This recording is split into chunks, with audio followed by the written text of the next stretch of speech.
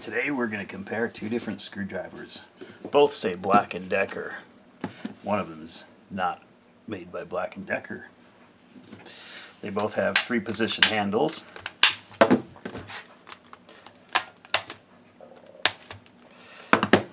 This one has a feature where you can store the bits, but you know, there's just a fake bit there you know, on each side. Both happen to be, well, Phillips flat or flip Phillips slotted combination. This one has a uh, push push on light. This one's light turns on when you press the power button. Let's first measure the RPMs. Here we have the uh, Black & Decker. 178. 178 RPMs. This one 410.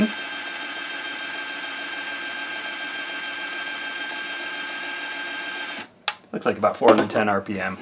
This has a light inside of uh, what looks like the clutch, although the clutch does not turn. Has a light up top and a light that kind of works inside the bit holder, but this is a non-standard bit holder. The regular bit fits in the Black & Decker just fine. The regular bit does not fit in this uh, fake Black & Decker. Although, if you bring out the uh, impact socket or impact screwdriver set from the garage, it has much larger bits. And amazingly, they fit just fine in the fake Black & Decker. Although, the clutch can't adjust because this won't turn. This does have a clutch. This one does not have a clutch. I just peeled off my uh, reflector. It has this rubber thing on the end, but there's no clutch there. I don't know what that's for. Just protection maybe. It does have a forward and a reverse and a lock in the middle. You have to remember to move the lever, change the gears to go forward and reverse. On this one, you press the top for forward and bottom for reverse. Changes directions, goes either way. Nice uh, rubber grip here on this one. This one has a plastic grip. This one does not have a bit holder anywhere. This one, well, if it wasn't fake, it would have a bit holder and a clutch, which this one does not have. So, wondering why the fake one appears to have almost better features than, than the real one.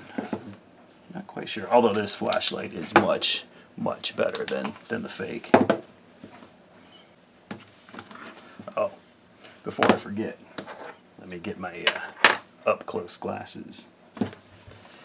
This says, uh, looks like CDI, Black and Decker, and the Black & Decker logo are registered trademarks of the Black & Decker Corporation used under license, made in China. There you go. Oh, and this has a battery compartment where you can just use regular AA batteries. Although it is kind of a pain to open, but there you go. Regular AA batteries. You can change them out and then be uh, on your way shortly. This one needs to be charged with a special charger, but it has a lithium ion battery inside of it, which will probably give you more life than the uh, double A's.